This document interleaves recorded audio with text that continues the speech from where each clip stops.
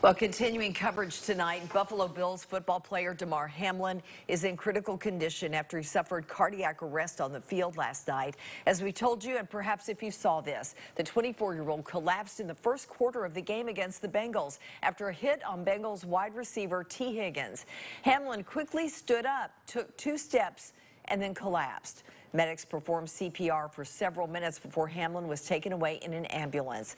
The team's most recent update today said Hamlin was sedated and is in critical condition.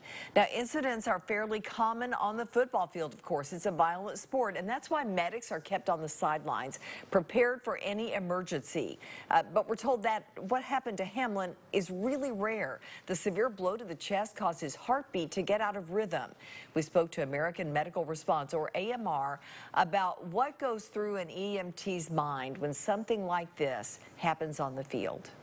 We're going to get down there, we're going to request some help, um, we're going to get our defibrillators out, we're going to go ahead and get initiated the CPR and get that going because um, that's the most important to get that CPR going as quickly as possible for a higher chance of survival.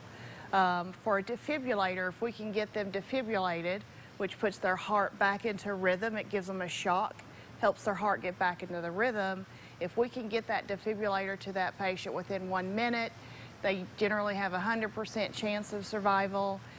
After two minutes, that chance of survival drops down to 80% and so on. So we want to get right on top of it really quick. So what's going through our heads is what's happening with the patient and how quickly do we need to get this patient to the hospital and get CPR going and plug our connector in. Now, Hamlin's cardiac arrest is prompting calls for more people to learn CPR and learn how to use AED devices. Coming up tonight at 6, the Red Cross walks us through what to do in an emergency to save a life.